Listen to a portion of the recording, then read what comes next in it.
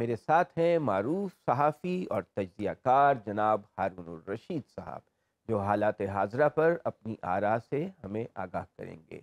नाजरीन, आपको मालूम है एक भौचाल साया हुआ है, दो बहुत ही अहम कवानीन जैसे आर्मी एक्ट और ऑफिशियल सीक्रेट एक्ट। उनमें पार्लियामान ने तरामीम की और उनको मंजूरी के लिए सदर आरिफ अलवी को भेजा। और ख़बर ये छपी एक दिन पहले कि वो सदर ने उनके ऊपर दस्खत कर दिए हैं, वो कवानीन बन गए हैं। लेकिन कल को सदर आरिफ अलवी ने एक बहुत ही बड़ा इंकशाफ किया और उन्होंने कहा, मैं अल्लाह को गवाह बना के कहता हूँ कि मैंने इन पर दस्तखत नहीं किए और मैंने अपने स्टाफ को बार बार पूछा कि इन्हें वापस कर दिया गया है पार्लियामान को या नहीं? और उन्होंने कहा कि कर दिया गया है। मतलब ये कि उन्होंने उसकी मंजूरी नहीं दी थी और जब सदर ऐसा करते हैं तो पार्लियामान को दोबारा उस पर गौर करना पड़ता है। और फिर दोबारा सदर को भेजा जाता है। अगर फिर भी सदर उस पर दस्तखत ना करें तो समझा जाता है कि वो मंजूर हो गए। अब ये मामला जो है, इसकी एक तो आइनी पहलू है कि क्या ये कवानीन अब वैलिड हैं जो तरमीम के बाद पेश हुए। क्या इनकी हैसियत अब एक कानून की है या ये कलदम तस्वुर होंगे? ज़ाहिर है इस वक्त पार्लियामान नहीं है कौमी असम्बली नहीं है तो ये फ़ैसला अब सुप्रीम कोर्ट को ही करना पड़ेगा। कोई तहरीक इंसाफ ने कहा है कि वो सुप्रीम कोर्ट से रजू करेगी, हो सकता है वकला भी करें। अब इस पर मुख्तलिफ़ आ रहा है। दूसरा पहलू है सियासी, कि पूरा सेटअप जो है वो तहरीक इंसाफ के ख़िलाफ़ है और तहरीक इंसाफ पे जो मुश्किल वक्त है वो ख़त्म नहीं हो रहा। शाह महमूद कुरैशी साहब को भी गिरफ़्तार कर लिया गया है। साइफ़र केस में असद उमर लापता हैं। अब ये सूरत हाल है कि पूरा सेटअप तमाम सूबाई हुकूमतें और वफाकी हुकूमतें ऐसे वज्रा पर मुश्तमिल हैं जो इमरान ख़ान और तहरीक इंसाफ के ख़िलाफ़ हैं। ऐसे में सिर्फ़ पूरे सेटअप में एक शख्स ऐसा है जिसका ताल्लुक तहरीक इंसाफ से है, वो है सदर आरिफ अलवी तो लगता है वो कबाब में हड्डी है और इस हड्डी को निकालने की कोशिश की जा रही है और एक कैंपेन लॉन्च कर दी गई है कि वो मुस्ताफ़ी हो जाए। हारून साहब से हम पूछते हैं बहुत इसके मुख्तलिफ़ जो पहलू हैं, वो बताएँ कि ये सदर आरिफ अलीवी की कल की जो एक तरह की ट्वीट है, जिसका नाम अब एक्स हो गया है, उन्होंने ट्वीट पे बयान जारी किया, यानी पूरी 24 करोड़ आवाम को उन्होंने एक मैसेज जारी किया कि मैं हल्फन कहता हूँ। हल्फन ही हो गया जब खुदा को गवाह बना के कहता हूँ कि मैंने दस्तखत नहीं किए। तो ये अब क्या सूरत होगी? इसके क्या मुजमरात हैं? एक तो इसका पहलू ये है जो डिस्कस नहीं हो रहा दूसरी चीज़ें तो डिस्कस हो रही हैं कि पिछले दिनों इतने अफसोसनाक वाक़ात हुए गिरफ्तारियाँ और ये और वो और वो, जड़ा वाला का बहुत ही अलमनाक वाक़ हुआ। जी। और वो पाकिस्तान का मसलसल नेगेटिव इमेज बन रहा है। मैं मेरा रबता रहता है आपका भी रहता होगा यूरोप से अमेरिका में ऑस्ट्रेलिया वगैरह में पाकिस्तानियों से। तो बहुत ही आजुर्दा हैं वो कहते हैं पाकिस्तान का इमेज बहुत तबाह हो रहा है बुरी तरह। वो जड़ा वाला वाला बहुत डिस्कस हुआ और वो होना ही था वो तो बिल्कुल उन्नीस चर्च जला दिए। जी तो ज़ाहिर है तो वो अब इसका बहुत ही दुनिया में चर्चा है। एक तो ये पहलू है। दूसरा पहलू ये है कि ये चूँकि लोग हिजान का शिकार हैं तो उस वक्त तमुल से काम नहीं लेते गौर फ़िक्र नहीं करते मजमरात पे गौर नहीं करते कि नतीजा क्या होगा। तो इसकी यानी बेयकीनी में मुल्क में इजाफ़ा होगा बहुत। और ये कुछ सादा सी बात नहीं होती। आप देखें कि भाई पैसे बाहर से आने के बावजूद ज़र बादला के ज़ख़ैर कदरे तो बढ़ गए। मनी ला, मनी लॉन्ड्रिंग लॉन्ड्रिंग जारी है। स्टॉक एक्सचेंज की हालत ख़राब है इन्वेस्टमेंट रुकी हुई है और टैक्सेस इतने लगा दिए हैं ऑलरेडी तो फिर टैक्सेस भी लगा दिए मनी लॉन्ड्रिंग भी हो रही है और डॉलर की कीमत भी बढ़ रही है तो इससे बेयकीनी और बढ़ेगी। समंदर समंदर पार पाकिस्तानी बहुत नाराज़ हैं। इन्वेस्टमेंट होगी नहीं बरामदात गिरेंगी। कारखानों की हालत, टेक्सटाइल इंडस्ट्री की हालत बहुत बुरी है। बहुत ही बुरी है, कोई इस पर काम ही नहीं कर रहा, किसी को परवाह ही नहीं है। ऐसा लगता है, जो अफर तफरी में होता है, कि दारा शिको की हारी हुई फ़ौज लाहौर में दाखिल हुई थी तो उसकी जो कैफियत मर्रख बयान करते हैं, वो हालत होगी कौम की। तो बहुत ये कि, यानी ये गंदे पोतड़े बाज़ार में नहीं धोए जाते। यानी ये क्या बात थी कि सदर बात कर लेते इसमें क्या मुश्किल थी? सदर से बात कर लेते हैं जो भी सूरत थी। फिर ये कवानीन ऐसे नहीं है जिसे कौम कबूल कर लेगी। यानी कोई भी फैसला पार्लियामान ने तो पास कर दी नहीं पार्लियामान थी कहाँ? पार्लियामान तो थी ही नहीं पंद्रह तो आदमी थे। पार्लियामान ने क्या पास किया उसको? पंद्रह आदमी ने पास किया ना और पार्लियामान रब- रब- रबड़ स्टंप का काम करेगी। तो फिर यही होगा पार्लियामान की क्या इज़्ज़त रहेगी बाकी? कानूनदान तो नहीं मानते। यानी जो बड़े कानूनदान हैं, उनमें से तो कोई भी नहीं मानता। रह गया इरफान कादर। तो इरफान कादर सबको कहें ये फूल हैं। वो कहेंगे फूल नहीं तो आतिशदान है। वही है ना एक आदमी जो इस इस तरह की बात करता है। तो वो अपना पहले ही कोई इमेज पाकिस्तान का दुनिया में देखे कौम की इज़्ज़त और तोकीर कोई। या लोग अपना जाति काम करते हैं या कौम के लिए जीते हैं। ठीक। हम्म? तीन डॉलर मिलते थे इब्राहिम लंकर को तीन डॉलर बतौर सेनेटर का बाकियों को भी। वो कर्ज चढ़ता गया जितना अरसा वो सेनेटर रहा। वो कर्ज उतारा उसने वकालत करके। बीच में जो वक्फा मिला फिर तो प्रेसिडेंट हो गया। सही है। तो कायद अजम की मिसाल हमारे सामने, उनसे भी ज़्यादा रोशन मिसाल है। तो आप यह कौम के लिए सोचते हैं, लोग अपने लिए सोच रहे हैं हैं। ये नहीं, शरीफ ख़ानदान के लिए। उसने क्या कहा? बिलावल ने, मेरी और मरियम की सियासत, पाकिस्तान की नहीं। सुबहान अल्लाह मुग़ल ख़ानदान वजूद में आ गया है। वैसे बाई दिवे इनके हाथ कुछ लगने वाला नहीं है। निकाला इन्होंने उसको, पीटीआई के चेयरमैन को। उसको निकालने में खुद निकल गया अच्छा हारून साहब एक सदर का आईनी अहदा है उनका स्टाफ जो है उन्हें चीट कर रहा है मुबैना तौर पे। अब ये तो जब उसकी इंक्वायरी हो स्टाफ के बयान लिए जाएँ तो उन्होंने हलफ दिया भाई उसके जवाब में कोई हलफ दे ना। तो जो उनके नीचे स्टाफ जो जिम्मेदार था समरी को आगे मूव करने का या फ़ाइल को दोबारा पार्लियामान भेजने का तो वो अब उसकी इंक्वायरी तो सुप्रीम कोर्ट ही कर सकती है। अजी बा- अजी सुप्रीम कोर्ट ही कर और सके supreme- that is the only forum हाँ। ठीक है? वैसे भी दुनिया में साहिब मामला की राय की कोई हैसियत नहीं होती। ठीक है। जनाब अली करमुल्ला वज़ू को भी कटहरे में खड़ा होना पड़ता है। हालाँकि वो जनाब अली करमुल्ला वज़ू क्या उनसे गलती बहुत सकते। हाँ? जी। जी। यानी यहूदी के हक में फैसला हो गया। जीरा का जी। क्योंकि गवाह नहीं था कानून कानून है। जी। वो अलग बात है कि वो उनकी आली जरफी से इतना मुतासर हुआ कि वो मुसलमान ही हो गया। हाँ, तो वो तो देखिए ना साहिब मामला की राय की कोई अब गवाही न जनाब हसन गलत दे सकते थे न वो अपना अश्तर क्या नाम था उनका? मालिक अख्तर मालिक अश्तर न वो दे सकते गलत गवाही दे सकते थे। दोनों ऐसी हस्तियाँ जनाब हसन तो कोई को तस्वर नहीं कर सकता इमाम हसन झूठ बोल सकते। गलत बयानी का मुबालगा भी नहीं सफ़र कर सकते क्योंकि वो कर सकते थे। तो वो देखिए अदालत ही का काम है फैसला करना और वही करेगी। लेकिन इससे जो मुल्क की बदनामी हो रही है और क्या इस पर लफ्ज़ नहीं मिलता अच्छा जो सरकारी अफसर होते हैं वो इस्टेब्लिशमेंट डिवीज़न को जवाबदेह होते हैं वही उन्हें कंट्रोल करती है। और जी जब ये साजिशें महलाती शुरू होती हैं ना मुगल किस तरह तबाह हुए थे? महलाती साजिशें एक दूसरे के महलाती साजिशें हम्म, हैं वो सैयद बरदरान जो है वो फैसला करते थे। हम्म, महलाती साजिशें ये आप अंदाज़ा लगाएँ कि पीटीआई चेयरमैन के घर में जो मुलाजम थे हाँ, अब मैं तो नाम भी बता चुका हूँ दोहराना नहीं चाहता उनको लोग पैसे देते थे और उनसे इन्फॉर्मेशन लेते थे। पीटीआई के लीडर जो बड़े बावसूल बनते हैं कहते हैं जी कि उसके पास क्या था हम ना होते। पीटीआई बस तुम ना उससे पहले कुछ थे। प्रवेश खटक कहते हैं मेरी वजह से सब कुछ हुआ। प्रवेश खट्टर का कोई नाम नहीं जानता था। तीस अक्टूबर के पार्टी बनाई। मेरी बात सुने। तीस अक्टूबर के जलसे से पहले हम्म, इसको तो पहली बात यह है कि जज साहब की वो क्या जज साहब का नाम है? उनकी रिपोर्ट में लिखा हुआ है ब्राइब करके इसको जिताया गया। ठीक है?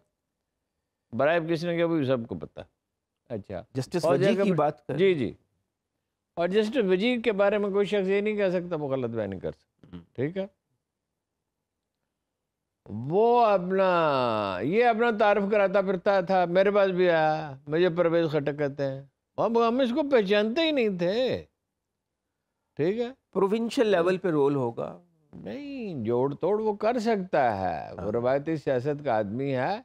लेकिन ना उसमें करिश्मा उसमें क्या चीज़ है एक लीडर वाली? वो कहते मेरे साथ तीन है। इलेक्टेबल्स हैं। कैरेक्टर इल्म हाँ। सेंस ऑफ़ डायरेक्शन उसके पास इन चारों चीज़ों में से क्या है? वो कहते हैं हम इनकलाब नहीं लाएँगे खिदमत करेंगे। हाँ वो एक लतीफ़ा होता है इसमें मजाइया उसमें प्रोग्रामों में।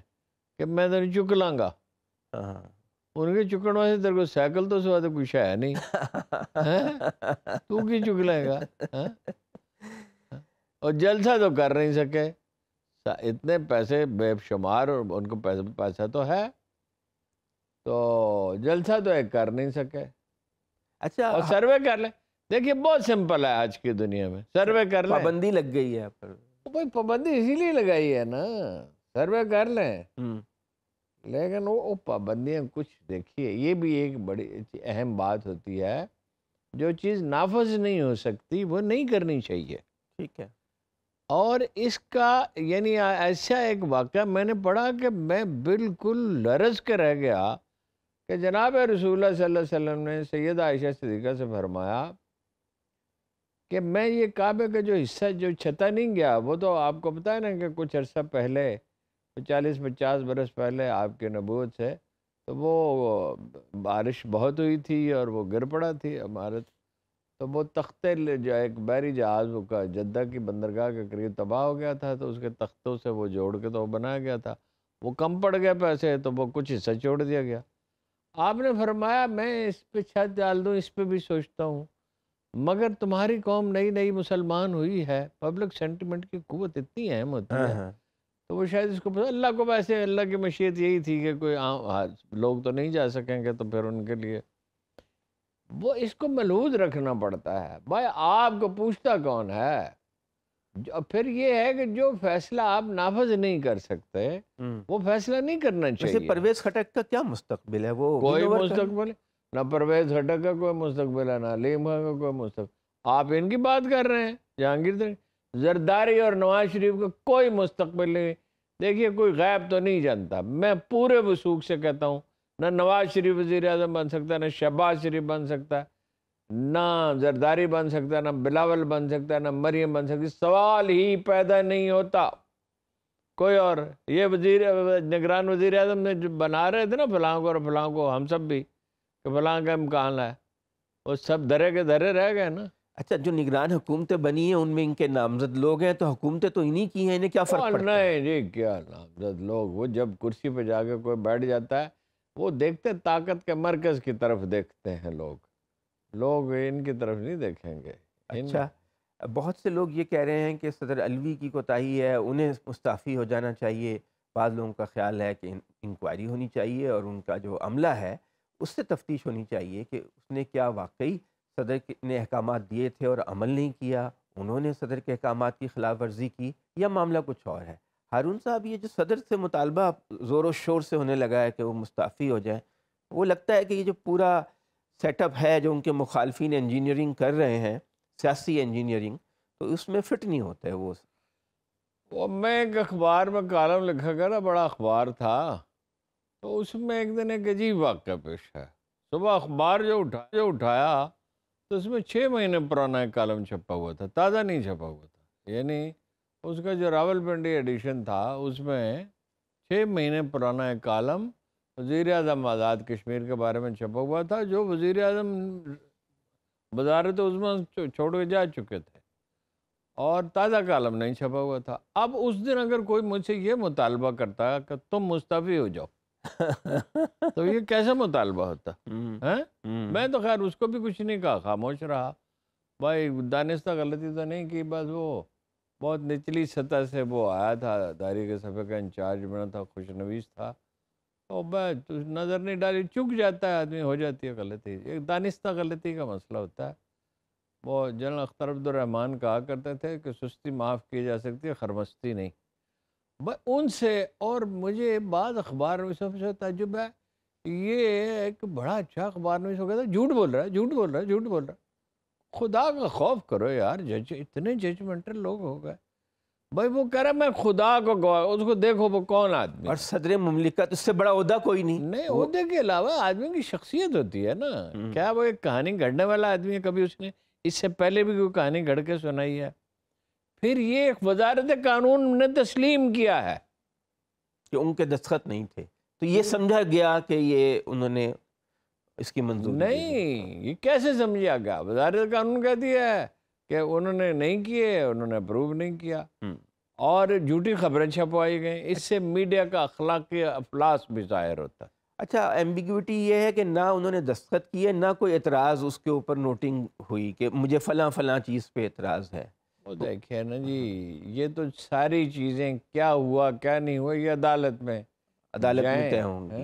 मगर अदालतें तो आजकल बहुत तहमुल और बुरदबारी से सिलो सिलो चल रही जो जो कुछ भी हो बहरल फोरम वही है। फोरम हारून साहब तहरीक इंसाफ की मुश्किल ख़त्म नहीं हुई। असद उमर भी गायब हैं और शाह महमूद क्रैशी को तो गिरफ़्तार साइफर केस में कर लिया है कि उन्होंने ऑफिशियल सीक्रेट एक्ट की खिलाफ वर्जी की है। तो ये तो मामला ऑफिशियल सीक्रेट एक्ट हर जगह जेर बहस आया। हाँ। उसका मतन दुनिया में छप गया। नेशनल सिक्योरिटी कमेटी के इजलास हो दो दफ़ा उसमें तस्लीम कर लिया गया कि भाई ये मुदाखलत हुई है। वो कहते हैं उन्होंने उसको पब्लिक कर अच्छा जॉन बोल्टन क्या कह रहा है कि ये इस पे अमेरिका के कौमी सलामती के मुशीर। क्या कह रहा है? जॉन बोल्टन जैसा आदमी कह रहा है इस पे कांग्रेस में बहस होनी चाहिए। जो पहले मुशीर थे उनके बड़े टॉप के डीप स्टेट के आदमी वो एक चीज़ है और हाँ। सारी दुनिया उससे ऑलरेडी वाकफ है। उसकी कौन सी चीज़ छुपी हुई है। कि जो उन्होंने सीक्रेट अब जो दौस और धांधली है उसका क्या इलाज है? तो बात ये है हाँ। ये है पच्चीस पार्टियों की हुकूमत। ठीक है। इसमें बहुत से मीडिया ग्रुप भी शामिल है। अच्छा। ये भी पार्टियों का रोल प्ले कर रहे हैं। लेकिन सदर आरिफ अलवी को जब उन्होंने असम्बली तहलील की तो आर्टिकल आइन का फोर्टी एट फाइव ए कहता है उन्हें नए इलेक्शन की तारीख का ऐलान भी करना होता है करना चाहिए था ना वो इतने बोल नहीं है मोहतात आदमी है। मोहतात आदमी लेकिन आईनी ज़िम्मेदारी है। वो बस आईनी ज़िम्मेदारी है तो दूसरी बात यह है कि जो भी ऐलान कर दे जब कोई मानता ही नहीं है। सुप्रीम कोर्ट का फैसला भी नहीं मानते हाँ, आइन में लिखा हुआ भी नहीं मानते। उसने कहा अम्मा मैं शर्त लगाया हूँ कि कबा सफ़ेद होता है। हाँ। तो उसने कहा बेटा कबा तो काला होता है। उसने कहा मैं मानूँगा तो होगा ना। हाँ जब मैं मानूँगा ही नहीं है? राना सनाउल्ला अल्लाह की शान। राना सनाउल्ला कहते हैं कि वो अपना पार्टी के कारकुन है। राना सनाउल्ला! और नवाबजादा नसरुल्ला खान से मौके पर एक शेर पढ़ा करते थे खुदा की शान के कलचड़ी गंजी हजूर बुलबुल बुस्ता करे बस क्या है वो हुँ? हम्म?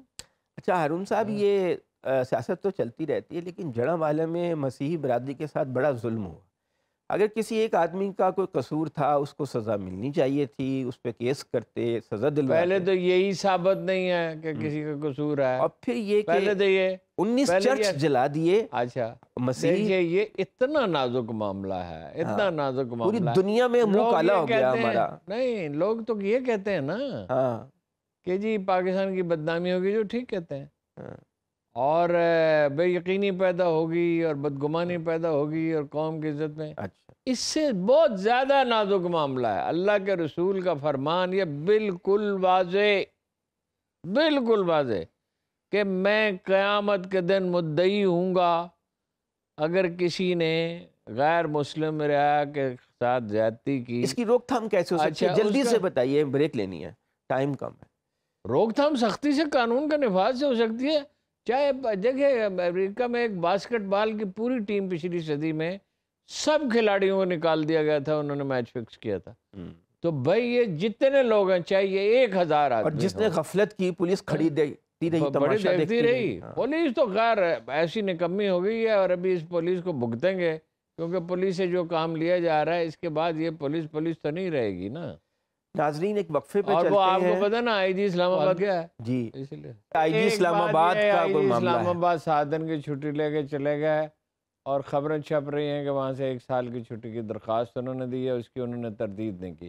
दूसरी गुजारिश यह है कि शाह महमूद कुरैशी के बारे में बहुत रिलायबल सोर्सेज कह रहे हैं कि उन्होंने जानबूझ के गिरफ़्तारी दी है। वो समझते थे कि मेरी क्यादत ख़तरे में है मुझे कोई और पार्टी भी कबूल नहीं करेगी।